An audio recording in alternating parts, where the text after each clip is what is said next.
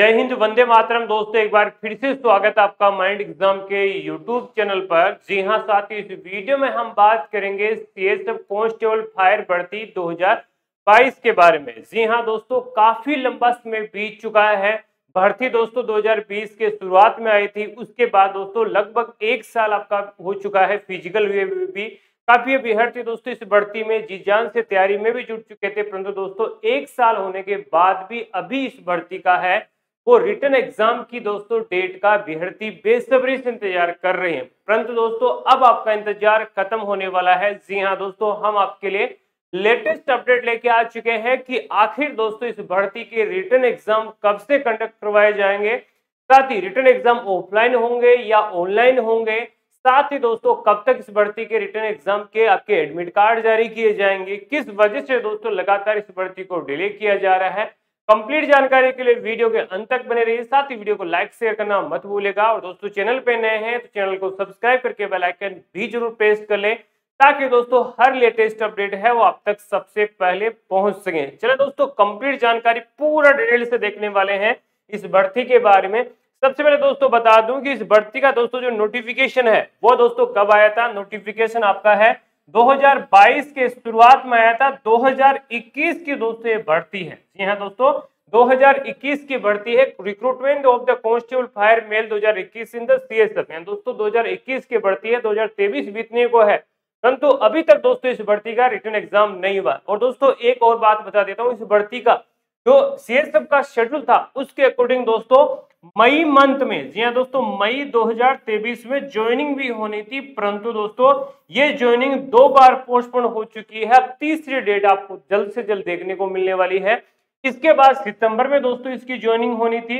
वो भी दोस्तों कैंसिल हो चुकी है, क्योंकि दोस्तों जब तक इस भर्ती का रिटर्न नहीं होगा, बाकी की आगे की प्रक्रिया शामिल नहीं हो, प्रक्रिया नहीं होने वाली है, क्योंकि दोस्तों इस भर्ती में कंपटीशन काफ़ी कम था। पोस्ट भी अच्छी खासी थी और सिर्फ़ दोस्तों जिनके पास मैथ सब्जेक्ट था, साइंस सब्जेक्ट था ट्वेल्थ में वही अभ्यर्थी इसके लिए एलिजिबल थे। तो ये भी बेहतरीन मौका था, इसीलिए काफ़ी अभ्यर्थी इस भर्ती की तैयारी कर रहे थे। मैं इसका रिक्रूटमेंट प्रोसेस भी दोस्तों आपका देखने वाला हूँ। या दोस्तों वैकेंसी आपकी स्टेट वाइज थी, परंतु दोस्तों वैकेंसी अच्छी खासी है। कंपटीशन इसमें लगभग आपका है, वो खत्म हो चुका है, ग्यारह पद पर दोस्तों ये वैकेंसी थी। मैं आपको ऑनलाइन एग्ज़ाम होने वाला है या ऑफलाइन होने वाला है और इसी के साथ दोस्तों, जो भी आपका एग्ज़ाम का पैटर्न होगा, उसके बारे में बात करेंगे। उसके बारे में, इसके बारे में डिटेल से बात करने वाले हैं कि कब तक आपका एग्ज़ाम है। वो दोस्तों होने वाला है।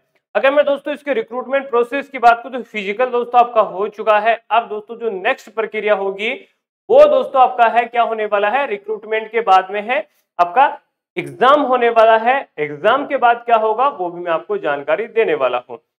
यहाँ दोस्तों मैं बात करूँ तो जो आपका एग्ज़ाम है, वो दो चीज़ें यहाँ लिखी गई रिटर्न एग्जामिनेशन अंडर ओमार और कंप्यूटर बेस्ड सीबीटी मोड यानी दोस्तों, दोनों मोड पर आपका एग्ज़ाम है, वो हो सकता है, परंतु दोस्तों, हाल फ़िलहाल में आपने देखा कि C I S F S C M दो हज़ार उन्नीस की जो भर्ती थी, उसका रिटर्न एग्ज़ाम सक्सेसफुल हो चुका है, जो ऑफलाइन मोड पर हुआ है, जो ज़्यादा उम्मीद है कि आपका जो एग्ज़ाम होगा, वो ऑफलाइन यानी ओ एम आर बेस पर है।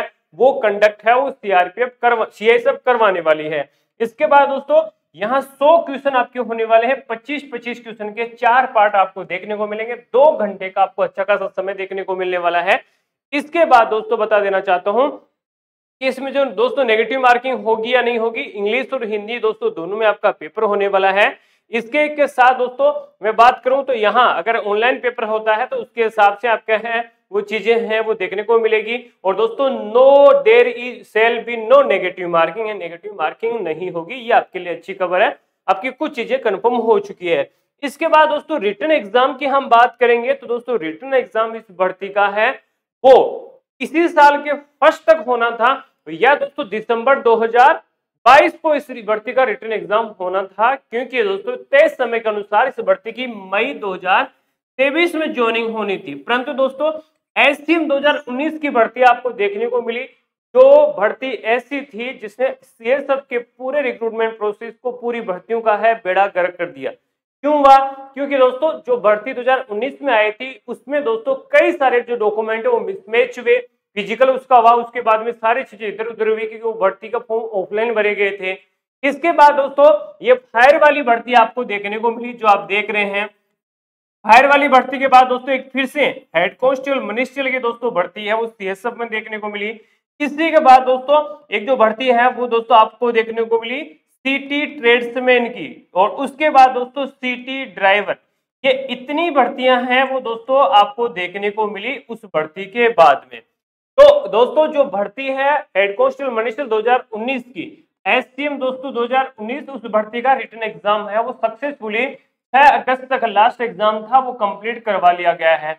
अब दोस्तों, इस भर्ती का फ़िज़िकल हो चुका है और आपको ये भी पता होगा, मोदी जी का मिशन मोड है। 2024 मई इलेक्शन से पहले 10 लाख रोज़गार 10 लाख रोज़गार वाला दोस्तों जो मोड है, उसमें इन सभी भर्ती को शामिल किया जाएगा, इन सभी भर्ती को कंप्लीट किया जाएगा।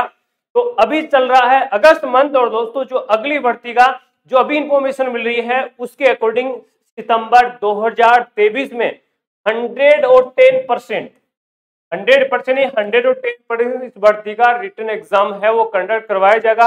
एक्सपेक्टेड ये है कि सितंबर के फ़र्स्ट वीक से पहले पहले इस भर्ती के एग्ज़ाम के एडमिट कार्ड है, वो जारी कर दिए जाएँगे। तो समय आपके पास नहीं है, कंपटीशन इसका नए के बराबर है, परंतु जो हेड कॉन्स्टेबल ट्रेड्समैन है, उससे पहले ड्राइवर का रिटर्न करवाया जा सकता है। क्योंकि इसमें अभ्यर्थी सबसे कम है। इसके बारे में और दूसरे वीडियो में डिटेल से बात करेंगे। परंतु अब आपके पास समय नहीं है इस भर्ती का, क्योंकि दोस्तों आपको ना कोई नोटिस देखने को मिलेगा डायरेक्ट एडमिट कार्ड देखने को मिलेंगे और उसी के अकॉर्डिंग आपका एग्ज़ाम है। जिस प्रकार से हेड कॉन्स्टेबल मनिस्टर का एग्ज़ाम हुआ है। उसी प्रकार से एग्ज़ाम है वो दोस्तों देखने को मिलने वाला है। तो ज़्यादा समय नहीं है, तैयारी में दोस्तों जुड़ जाइए, क्योंकि मैं फिर से ये बोलना चाहूँगा कि कंपटीशन नए के बराबर है इस भर्ती में।